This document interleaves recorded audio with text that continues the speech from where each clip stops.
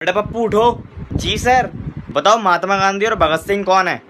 नहीं पता सर। पढ़ाई पे ध्यान दोगे तभी तो पता पड़ेगा। अच्छा सर, आप बताइए, दीपक, राकेश और प्रवीण कौन है? नहीं पता कौन है ये। अपनी बेटी पे ध्यान दोगे तभी तो पता पड़ेगा। वो लड़का जाता है और अपनी माँ का कलेजा निकालता है। घर से बाहर निकलते वक्त जब लड़के को चौकट पे चोट लगता है तो माँ के कलेजे से आवाज़ निकलती है कि बेटा। और वो लड़का कलेजा उस कोठे वाली के पास लेके जाता है तो वो कोठे वाली बोलती है कि अरे भावा माधर जात जो तुमको पैदा किया जब तुम उसके नहीं हो सके तो मेरा क्या होगे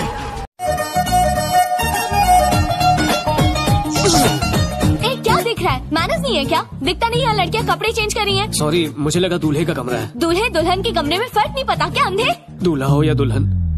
मैन हो या वुमेन बेटा पप्पू उठो। जी सर बताओ महात्मा गांधी और भगत सिंह कौन है? नहीं पता सर पढ़ाई पे ध्यान दोगे तभी तो पता पड़ेगा। अच्छा सर आप बताइए दीपक राकेश और प्रवीण कौन है? नहीं पता कौन है ये? अपनी बेटी पे ध्यान दोगे तभी तो पता पड़ेगा। तो मैं दूँगा। क्या बोला क्या करेगा तू? मैं इसको दूँगा। किसको?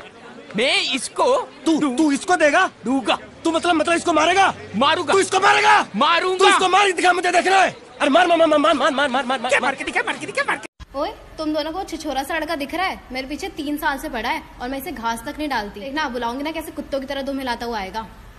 ओए एलविश जरा इधर आइयो।